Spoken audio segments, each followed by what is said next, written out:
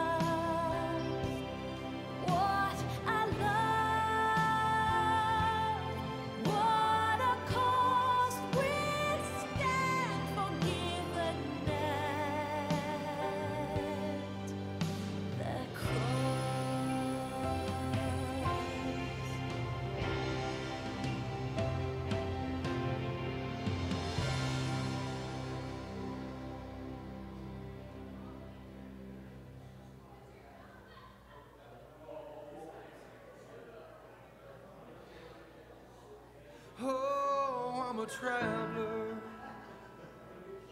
far from home.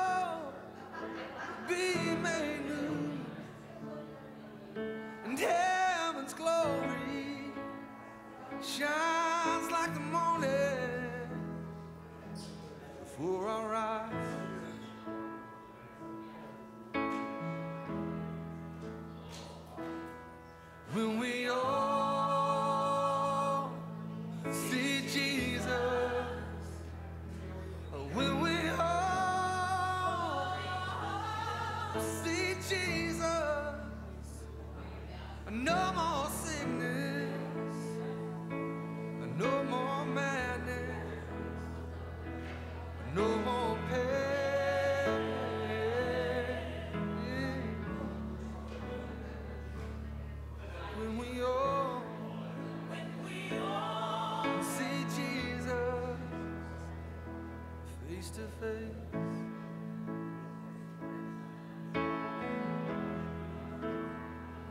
Then we will sing.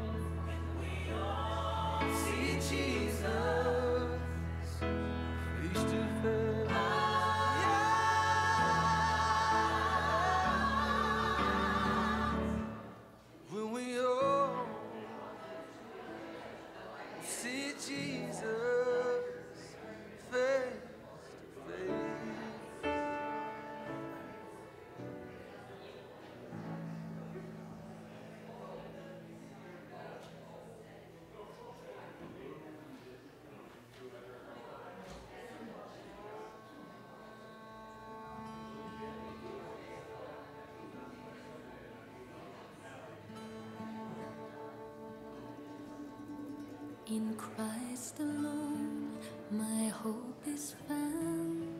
He is my light, my strength, my soul. This cornerstone, this solid ground, firm through the fiercest drought and storm. What heights of love, what depths of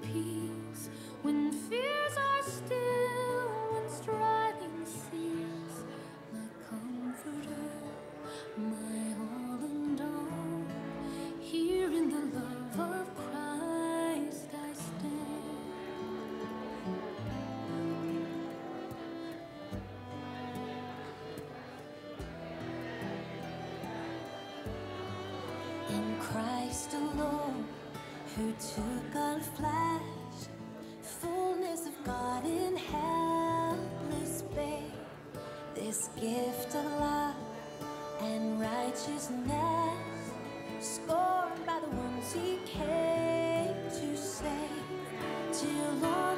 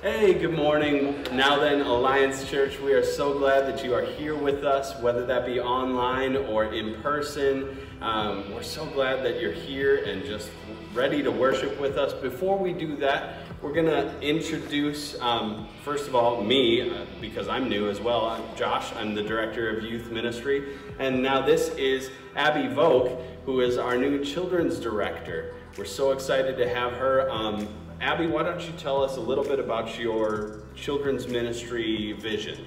Yeah, as Josh said, my name is Abby Vogt. Um, I am so excited to be here with you guys. Uh, God is going to do some really great things, and I uh, am so excited to be a part of that. Um, something with children's ministry that is really digs into my soul is the need for family implementation in that. Um, and so things are going to look pretty normal to what we're used to. Um, but I'm really excited to bring in some more family aspects to really make sure we're digging in as whole families rather than just as focusing in on kids and their faith. But how can we as adults, as families, really dig into child faith development and use that to build up faith within the whole family. Um, so there's going to be some fun new things coming at us this fall. Um, and I'm really excited to be able to be here and be a part of that with you guys. That's awesome. So if you haven't met her, if your kids haven't met her, um, we have an awesome opportunity. Our final family fun night is coming up uh, this Wednesday. We're to start at 8 o'clock rather than our normal 6 o'clock. Um, we're doing a movie outside. Um, we're watching the movie Up. It'll be a great time uh, for you to bring out your family, but it's also a great time to meet Abby. Um, please don't talk during the movie, otherwise I might throw some popcorn at you or shush you, but um, it'll be a great time just to get together as a church family and watch a, a fun movie. So come on out for that. Um, now I'm gonna turn our focus to worship now, and so I would ask that you please rise, stand up, and, and let's sing to our, our wonderful King. Yeah, let's all stand together. Uh, let me pray with you here this morning. Glad that you're here. Uh, Holy Spirit, we pray that you would come. Come and meet with us. Come and speak to us. Come and reveal who you are. May the goodness and the grace that you are uh, infiltrate us. Uh, give us an awareness of the things that are not of you and br- bring put light on those things and and uh, help us to surrender those things to you and, and to find the, that your grace is enough for us, that your mercy is new this morning as it is every morning. Thank you, Jesus, for this opportunity that we get in these next few moments to, to worship you, to speak to you, to sing to you, to listen to you. Come and fill us as we do this. In Jesus' name, amen.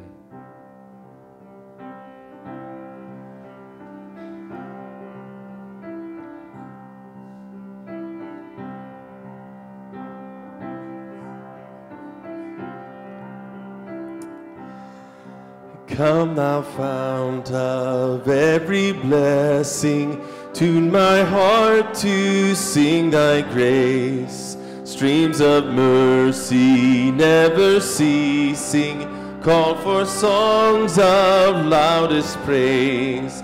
Teach me some melodious sonnet, sung by flaming tongues above.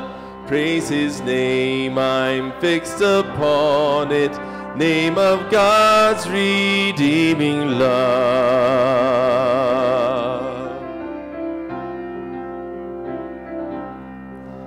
I was lost in utter darkness till you came and rescued me. I was bound by all my sin when your love came and set me free. Now my soul can sing a new song. Now my heart has found a home. Now your grace is always with me, and I'll never be alone. Come thou found, come thou king, come thou precious prince of peace. He your bride to you we sing. Come thou fount of our blessing. Come thou fount, come thou King. Come thou precious Prince of Peace. He your bride, to you we sing. Come thou fount of our blessing.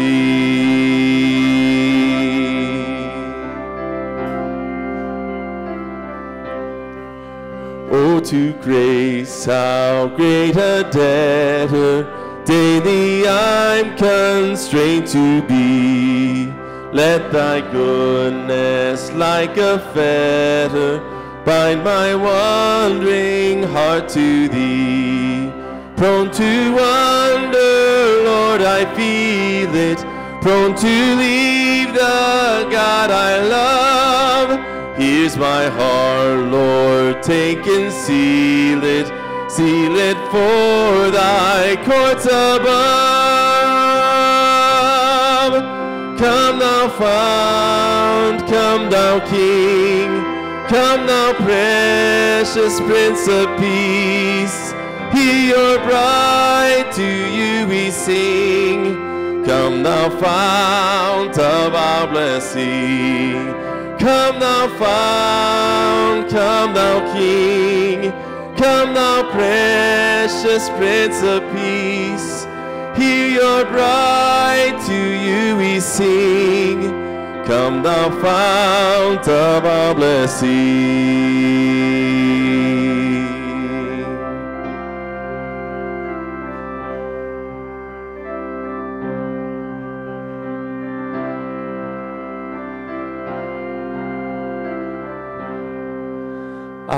Was lost in utter darkness till you came and rescued me. Amen. I was bound by all my sin when your love came and set me free. Now my soul can sing a new song. Now my heart has found a home. Now your grace is always with me, and I'll never be alone.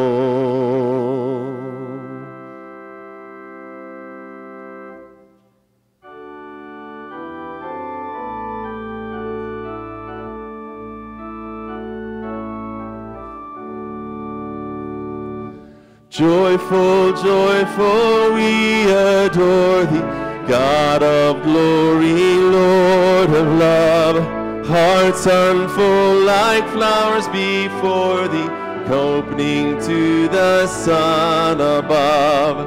Melt the clouds of sin and sadness, drive the dark of doubt away. Giver of immortal gladness, fill us with the light of day. Thou art giving and forgiving, ever blessing, ever blessed. Wellspring of the joy of living, ocean depths of happy rest. Thou art Father, Christ our brother, all who live in love are thine. Teach us how to love each other, lift us to the joy divine. Mortals join the mighty chorus, which the morning stars began. Father, love is reigning over us. Brother, love binds man to man.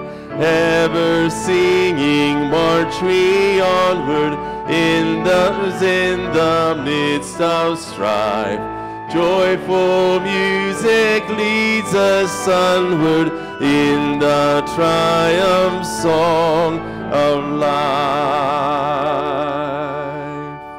Amen. You may be seated. Good morning and welcome to Nowthen Alliance Church. If I haven't had the privilege of meeting you before, my name is Nate Kemper. I'm the lead pastor here and love that we gather together each and every week to worship God. Uh, we'll continue doing that this morning uh, in song some more. We'll also have a time, many of us, of giving back to God as well as then studying God's Word together. But before we jump back into those, I want to remind you of a few things. First, just what we exist for as a church. As a church, we exist to equip people to find life and faith in Christ, and we believe we do that best as we connect with each other, as we grow in our own relationship with God and encourage others to do the same, and as we participate in what God is doing in our lives and in the world around us. And there's opportunity for a number of those things. As you were watching maybe the intro video, you'll be reminded we've got a, another family night coming up on this Wednesday night. One of our uh, work, uh, like missionary partners, will be here presenting a gospel blacklight story for the kids at that event, as well as then a time of an outdoor movie. We'd invite any of you to come to that as well. And then want to remind you of another connection opportunity we have next week. After the services, we have our church family picnic and baptism service. That'll be at Twin Lakes Park. We'd love to have you join us there. We'll provide uh, the main dish and some drinks. We'd encourage you to bring a side dish uh, or a dessert to share and bring some chairs to sit on if you want to sit on those. We'll have some outdoor games available there as well and are looking forward to that together.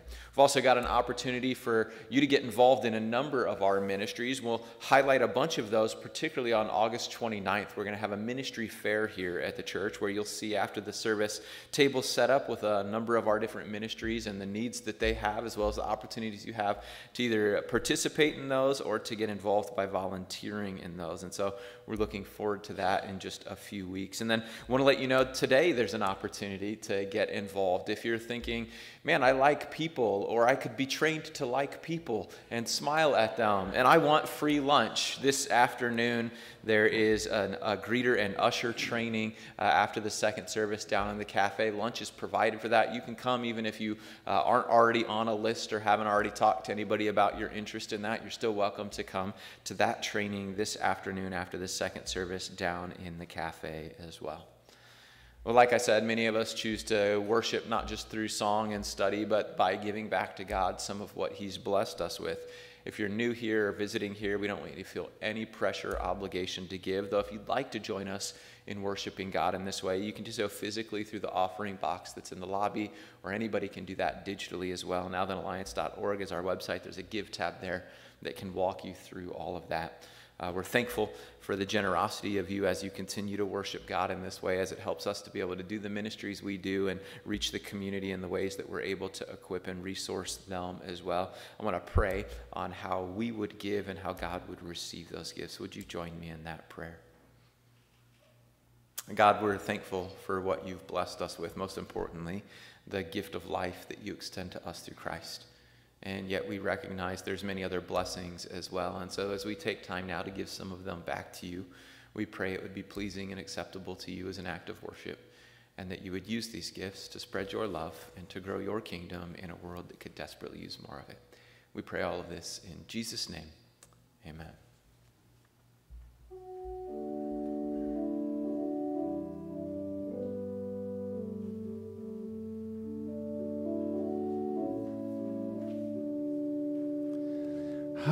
Deep the Father's love for us, how vast beyond all measure, that He should give His only Son to make a wretch His treasure.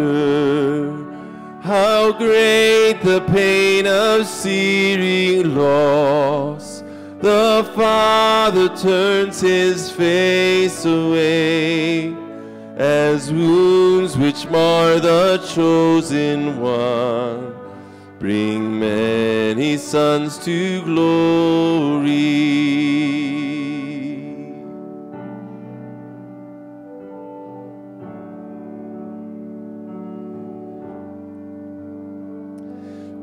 Behold the man upon a cross, my sin upon his shoulders. Ashamed, I hear my mocking voice call out among the scoffers.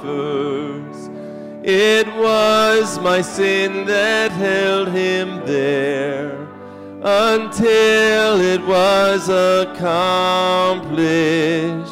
His dying breath has brought me life. I know that it is finished.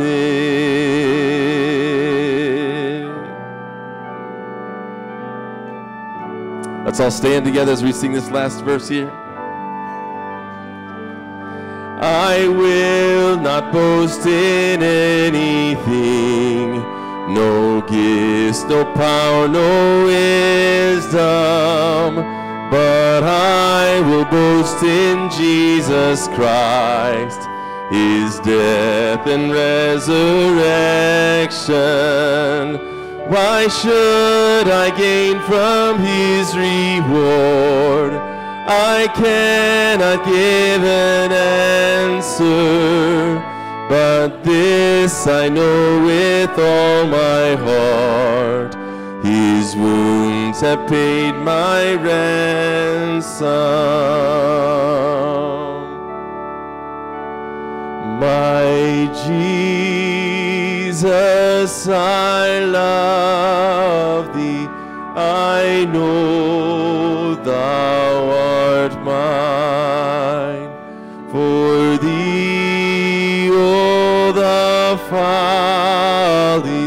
of sin I resign. My gracious Redeemer, my Savior art thou. If ever I love thee, my Jesus, tis now. I love thee because thou hast first loved me and purchased my pardon on Calvary's tree.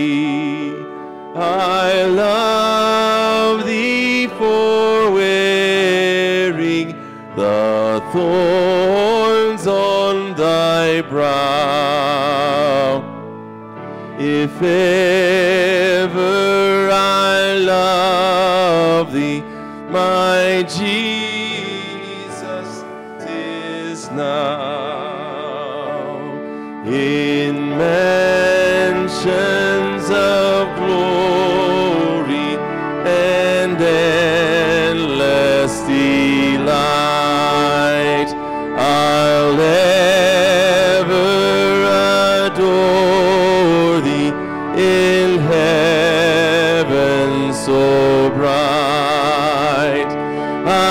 I'll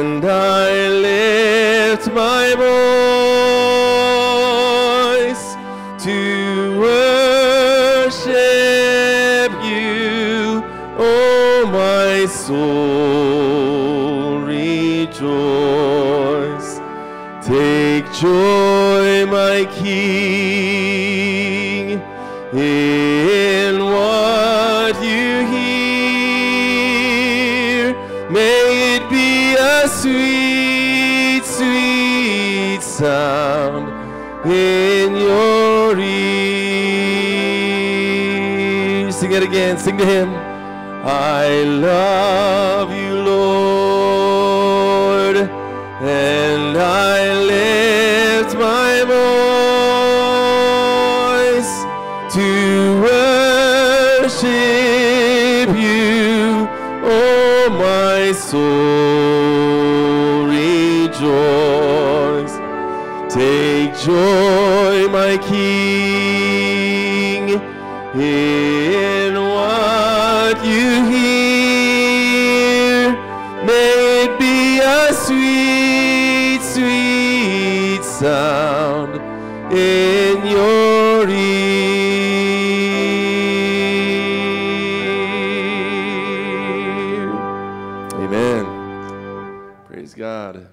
seated.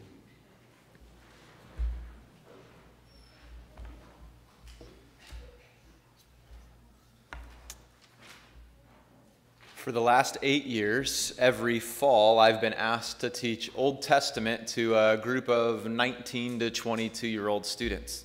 This is a missions organization based out in Crystal, Minnesota, that, that does a gap year program. And the students come and they spend the full school year at that missions organization. They spend the mornings each week from uh, 8 till noon or so in class. It rotates through topics, and then they spend the afternoon doing small groups and uh, service projects, internships at churches. And as a part of those classes, I've been asked for the last eight years to come and teach the Old Testament every fall and to teach some other class in the spring. It's 20 hours of teaching over the course of the five days. I go each day with a four hour lecture prepared to, to talk, dive into whichever topic it is. And, and as that begins, as the week starts, it always starts the same way. I walk in with my folder of supplies and materials and my Bible ready to teach whatever the topics are. And then uh, before we jump in, I always at least want to get to know the students a little bit. And so I ask them just a few questions. Each week it starts with Can you share with me your name? Usually, can you share with me some random fact, like your favorite movie, favorite food, if you could travel anywhere in the world, some, something to try to remember uniquely about them? And then, would you let me know any questions you have about the topic?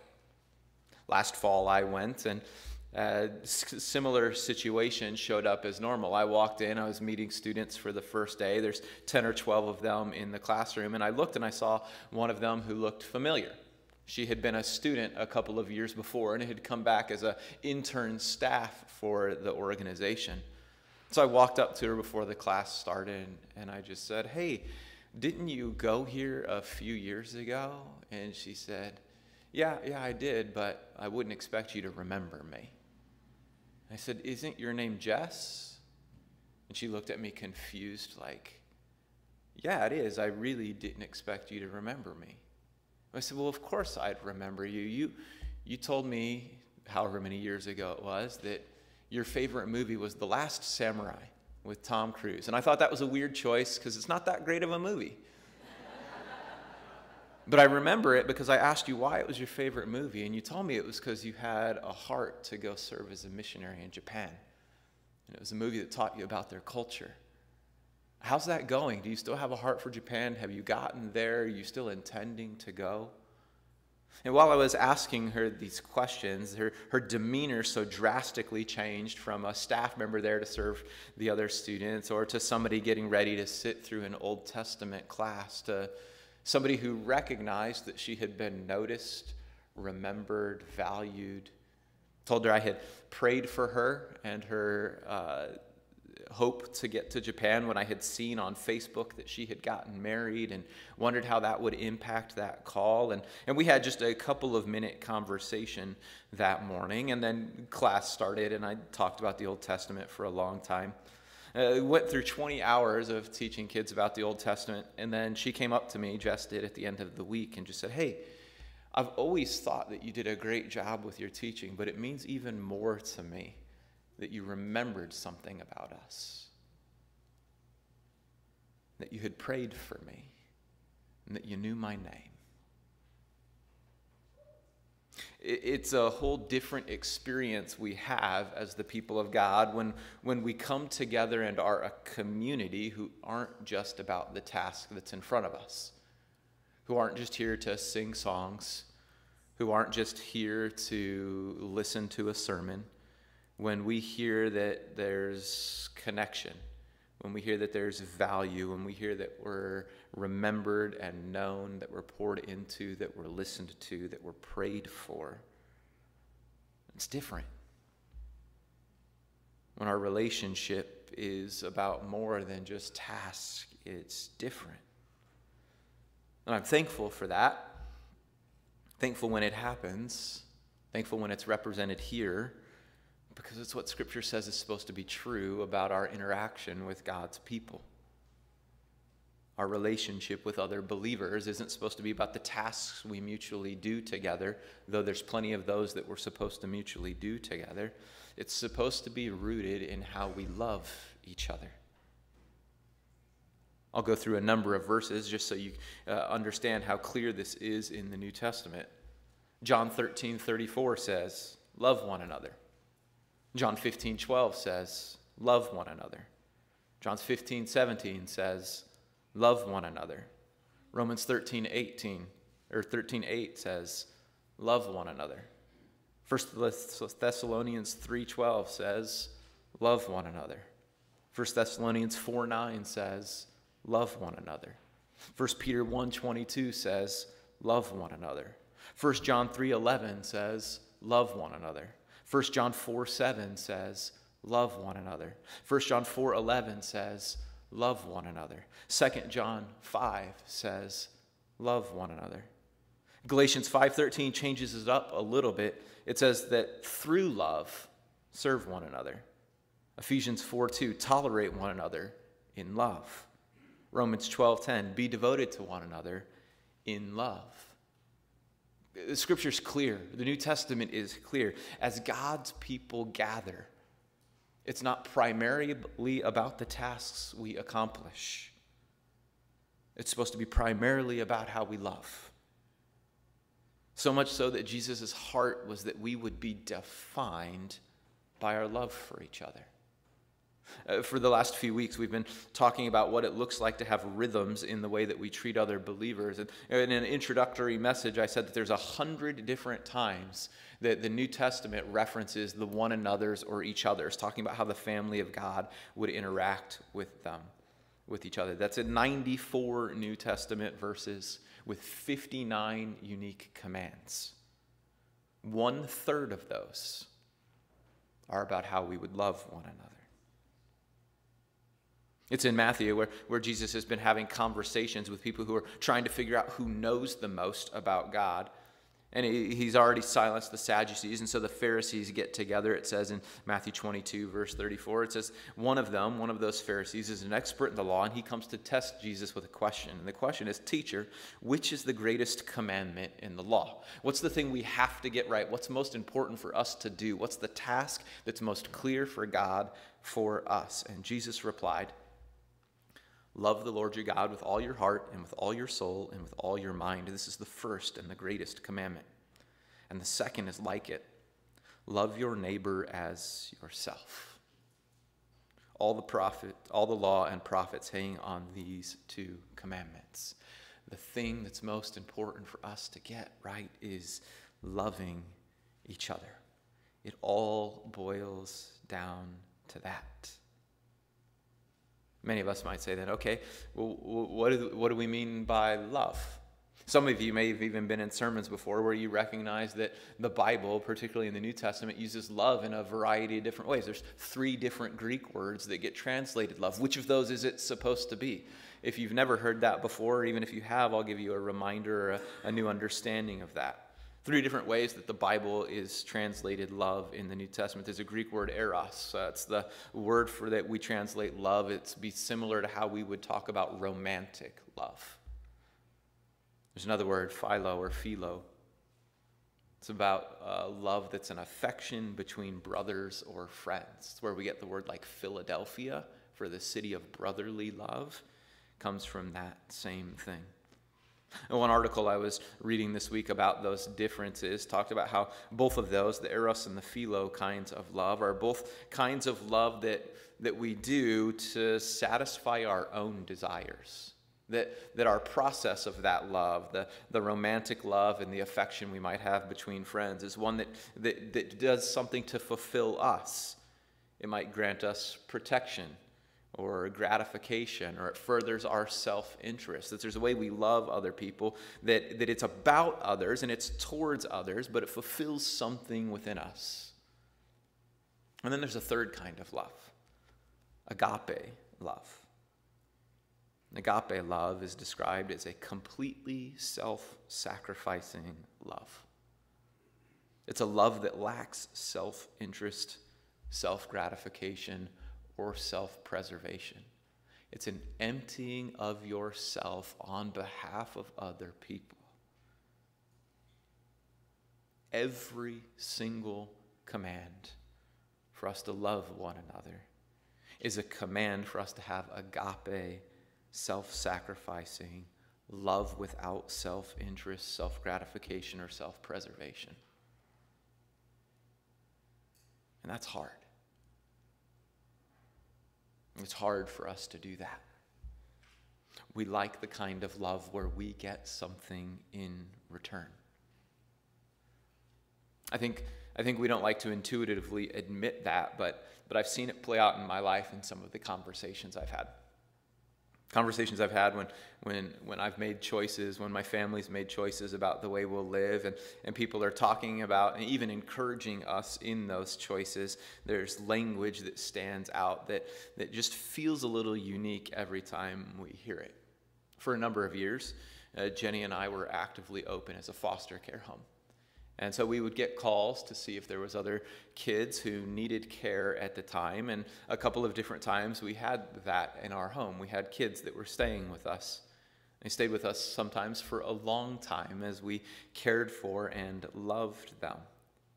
And when we would talk about that, when we talk about foster care, there's this common language. It's saddening at times when we hear it, but there's no ill intent when anybody says it. Language like, I don't think I could ever do foster care because I'd get too attached. I'd fall in love with those kids if they were living in my home. Just a, a side note, maybe, maybe for your own benefit, maybe just for my heart's desire. Uh, I, there's a reflection that happens in foster care families when you say that.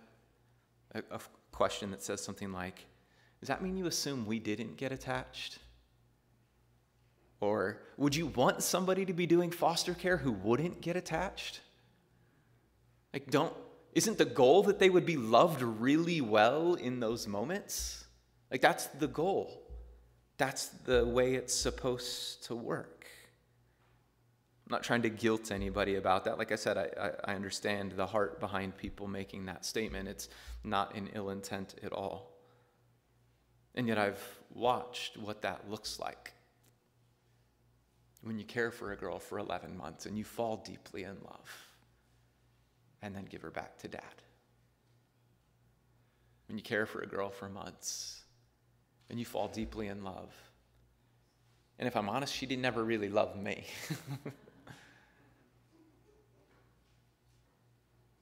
Where it feels like you're giving and sacrificing and exhausting yourself driving around all the appointments and you see the cost and you say, but what am I getting out of it? And at some point you realize, nothing. I'm not furthering my self interest or my self preservation. It's agape, self sacrificing love. And it's what God calls us to. The reality is that the love God calls us to is self sacrificial.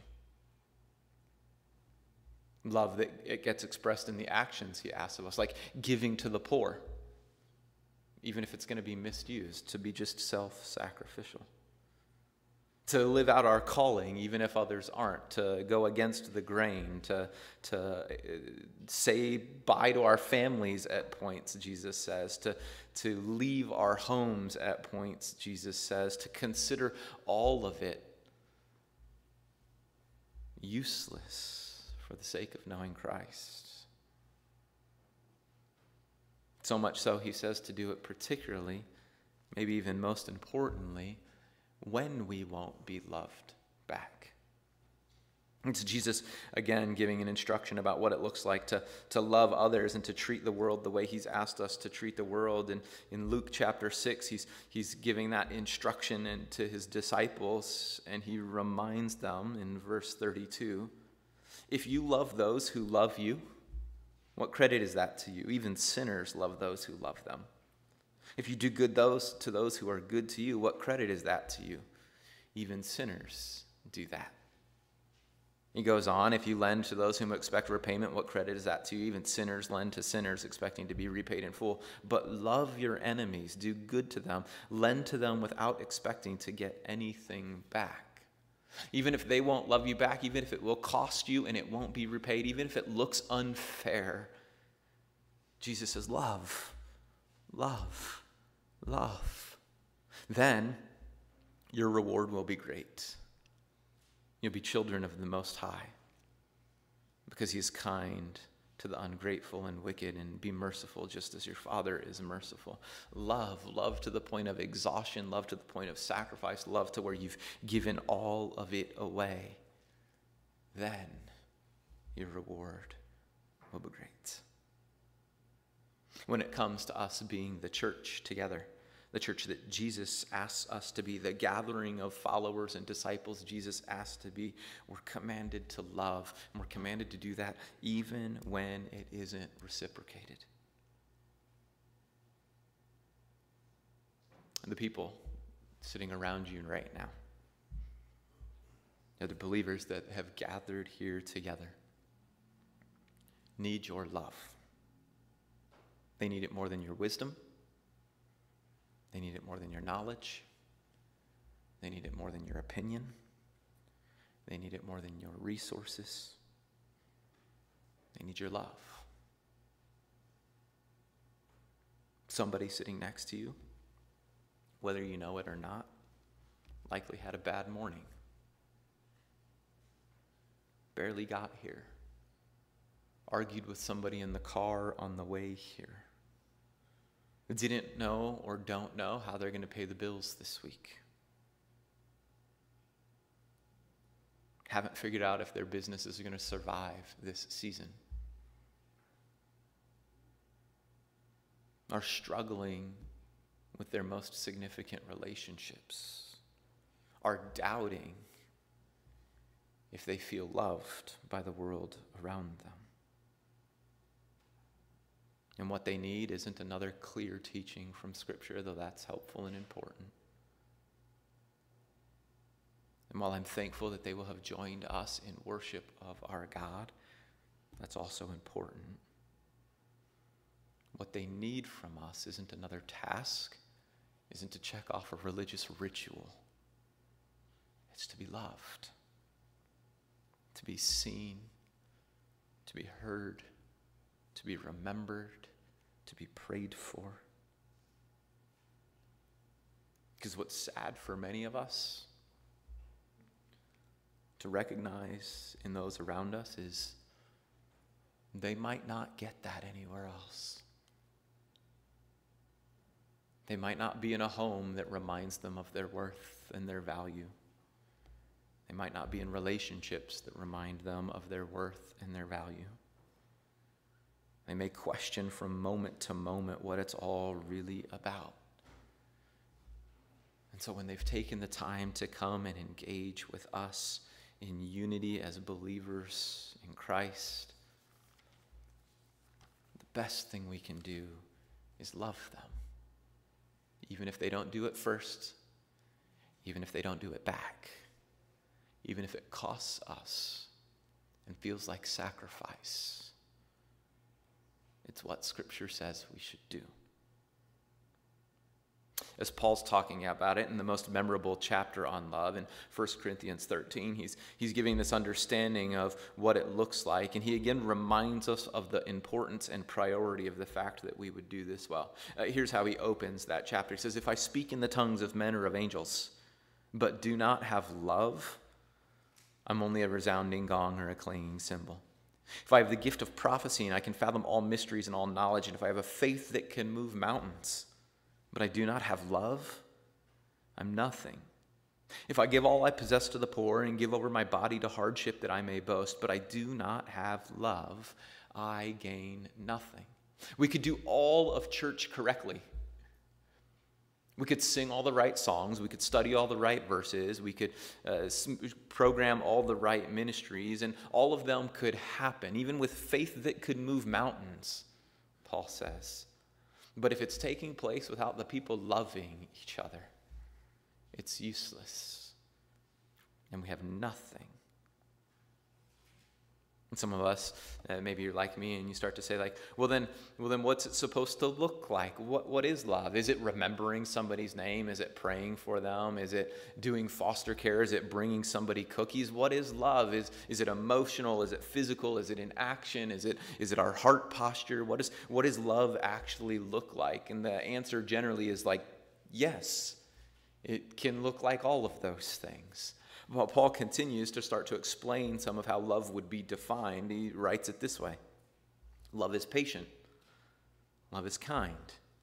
It doesn't envy or does not boast, it's not proud. It doesn't dishonor others. It's not self seeking. It's not easily angered. It keeps no record of wrongs. It doesn't delight in evil, but it rejoices with the truth. It always protects, always trusts, always hopes, always perseveres. It never fails. Love gets expressed starting with this heart posture, but, but seeps out into a number of different actions. Before jumping into those, I just want to ask you the question Does that describe you? As you gather with other believers, as we come together as a local church, are you patient? Are you kind? Do we get together without envying each other or boasting about what we've done? Do we get together without our pride getting in the way? Do we do it without dishonoring others? A different language, maybe more blunt to the way we talk, and the scripture uses it in other ways. Can we do it without gossip? Can we do it without being self seeking? Or is our opinion on the way things are supposed to happen what's always most important? Can we do it without being easily angered? When we uh, see other people in the church family, do we immediately see them and remember the ways they've disappointed us before? Like, have we kept record of those things? Are we able to get together and move on reconciled, regardless of what that's looked like before? Have we delighted in evil, or are we rejoicing with the truth? Are we trusting and hoping and persevering with those around us?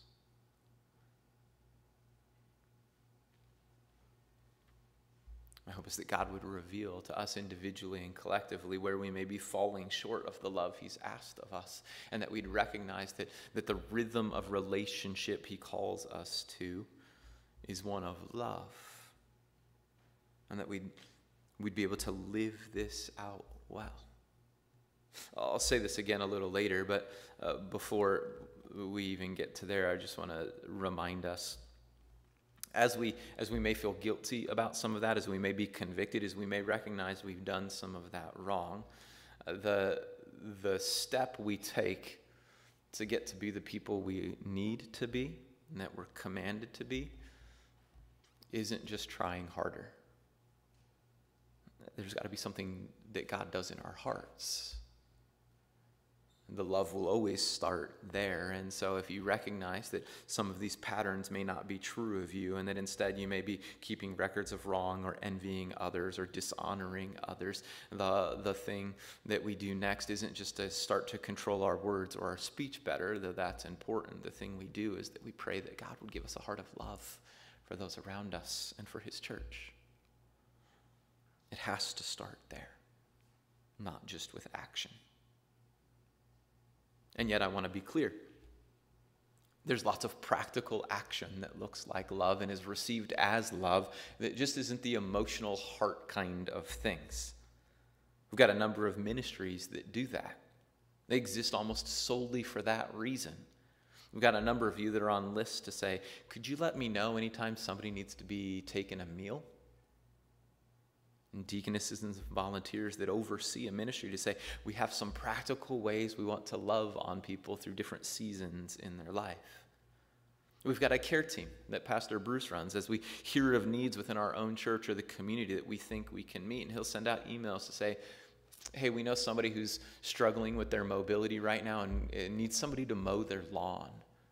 And we've got people who, as an expression of love, mow their lawn. We've had single mothers who say, I bought a new ceiling fan for my house, but I don't know how to install it. And so, as an expression of love, we've had people that would go and install a ceiling fan in someone's house. We've got ushers and greeters who say, I, I just want people who, as they're entering our building or coming into our services, to see a smiling face, to have somebody shake their hand. I want them to be loved and seen. You can sign up for any of those things. Spoiler alert, that's going to be one of the application steps at the end. But it doesn't have to look organized by a church ministry. You can invite someone out to lunch who you don't know very well. You can write somebody an encouraging note, draw a picture. Uh, uh, probably about half of the Sundays at this church, that happens for me. About half of the Sundays, somebody will draw me a picture. They're usually under 12 but it's not usually the same person.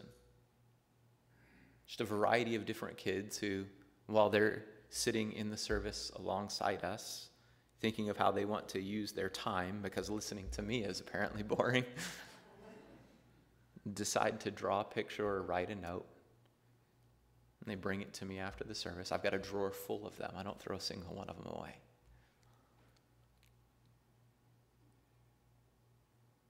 And it's encouraging and feels like love from a kid every time. And these kinds of things is who we have to be if we want to be a church. Because we aren't a church without our relationships. Churches aren't gathering places. Churches are gatherings of people illustration a friend of mine used in a pastor group I'm a part of. He says, Too many people at times can treat church like it's a hardware store. Like you drive to the place where you know there's something you need to get, and so you go to your favorite hardware store to get it. Mine happens to be Home Depot. So you go to Home Depot to get the tool you need for the thing that's going on in your life or the project you have at hand. And then you may recognize in the consumer nature that churches become in some of America that that may be true, and I may go to Home Depot most of the time. But the moment Menards or Lowe's has something on sale, well, then my loyalties are divided. And if I can get 11% off of everything I can fit in a bag, suddenly I'm going to go to Menards and that our churches have become like hardware stores where, where we're going to say, well, I go here normally to get the thing I need, but if that church also has a ministry that does the other part of it better, then I'll go there for that. And if the teacher over there is more eloquent, I'll go there for that. And if I like the music at that one, I'll go there for that. And church has become the thing we go to to get what we need and has nothing to do with the relationships that we have.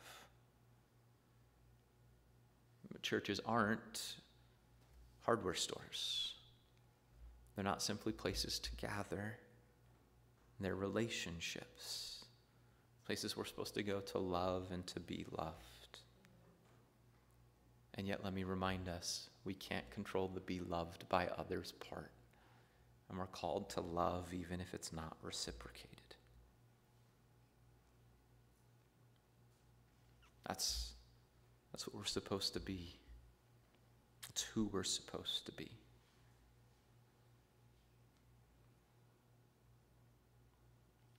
And we won't get there if all we do is try harder. Our actions and our speech matter. But if they're coming from a place of religious ritual and not from a place of heart love for God's people, then we've missed it. It really does start with the heart. One of the most consistent prayers I pray for this church, for my family, for my friends is God, give me the love for you, them that you have for them. Fill my heart with love for them. Increase my love for them. It has to start there. And so you may say, okay, Pastor Nate, I believe you. Not because I'm wise, but I believe Scripture is clear that you've quoted and shown that this is important, it's commanded, it's who we're supposed to be. What can I do to start? What's it look like for me to take a step towards this? I'm going to give you some options. Again, there'll be options around the values of our church. Some of them harder than others, some of them maybe simpler than others. If you're looking to grow in your expressions of love for God's people as you connect with someone else, I want to to challenge you this way. Pray with someone to have God's heart for those you have had judgment towards. Here's what I mean by that. Maybe you and a close friend of yours who's also a believer have some joint positions about different things going on in our worlds. And it has frustrated you that not all of your other Christian brothers and sisters have the same joint position as you. And often, when you get together, you rally around your unity on that position and do so with language that attacks people who have a different position than you. That's sadly a state of the large swath of believers in America at this point. What if instead of our unity being around the position we have and our language being oppositional to those who disagree, what if instead we get with that same person and said, what if instead of being annoyed at those people and frustrated by and about those people, what if, what if we paused and we prayed to have God's heart for those people? Not that that means that we don't still have opinions, we can have those. But can we have them with God's heart for people instead of just the opinions being what matters? And so pray with someone for God's heart for those you have had judgment towards. And do it with someone else. If you're looking, put the message into practice while growing, I'd encourage you memorize 1 Corinthians 13, 4 to 7. That's the one where it defines, Paul defines what love looks like. And then reflect on how loving you are in your relationships with people in this church.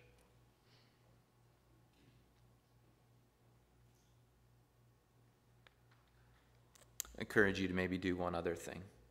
I've seen some other pastors do this. I've given this as an example at times before for parents as well. Use that same passage and pray for yourself this time instead of for your kids that that would be true of you by praying your name in place of love say god i pray that i would be patient that i would be kind that i wouldn't envy that i wouldn't boast that i wouldn't be proud that i wouldn't dishonor others pray that you'd help me not to be self-seeking not to be easily angered to let go of all the wrongs and the records of those that i have that i wouldn't delight in evil that I'd rejoice with the truth, that I'd protect, that I'd trust, that I'd hope, and that I'd persevere. Memorize 1 Corinthians 13, 4 to 7, and pray those things over yourself. Pray for that to be how God moves in you and changes you so that you would be defined by love the same way He hopes the church is defined by love. Third, if you're looking to participate, something God is doing in your life and in the world around you, I'd encourage you to join a team here at the church that gives opportunity for practical acts of love. Things like the ushers and greeters teams, the care team, take them a meal. You don't know how to join one of those teams, you've got a connection card in your bulletin, or if you're engaging digitally, you can fill out the contact form online and just say, I'd love more information about ushers or greeting. I'd love to be on the emails from Pastor Bruce about the care team, just so I'm aware of those needs as they show up. I'd love for the deaconesses to know I'm interested in also being involved in taking people's meal, taking people meals. It's not a ministry in the same way that it's organized with tasks, so I didn't write it on the list, but you can also join a small group this fall where you get to be in more consistent and deeper relationship with people in the church so that you learn how to love them well and have intentional time set aside to do just that. Don't just hope in that love will happen by accident because this flesh gets in the way. But as we long to be the church God has called us to be, we would be in rhythms of love with other believers. I want to pray that that would be true. Would you join me in that prayer?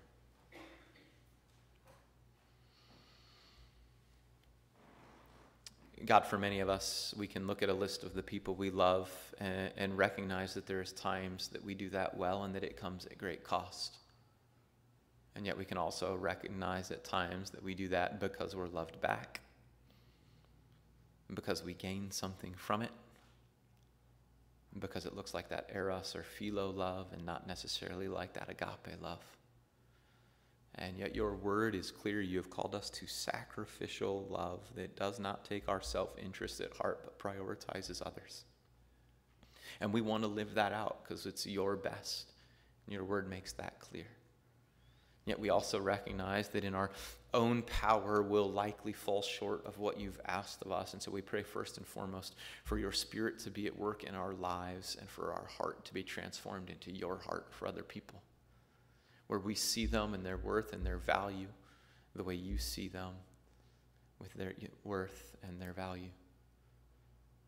To the point where we would sacrifice everything on behalf of others the same way Jesus sacrificed everything on behalf of us. Help us to live that out. Show us where we can do that in easy and practical ways, where we can do that be parts of organized teams or structures that give some of the disciplines of that, but help us not to aim to just try harder, but to be transformed more into the people you long for us to be. We cry out for that, longing for it not just to be so that we would be obedient, but so that we would get to experience the fullness of love in the church family the way you've designed it to. And we pray that as we would do that well, as you would work in us and we would become more loving in our in interactions with the local church, that you'd fulfill what your word says you would fulfill, and that others would see that. And they'd be drawn into the knowledge of you and your love and into relationship with you because of the way we love each other. Help us to do that in ways that enliven us and glorify you. We pray in Jesus' name. Amen. As you go, I hope you go with grace and peace. I hope you go loving the brothers and sisters that are around you. Go with grace. You are dismissed.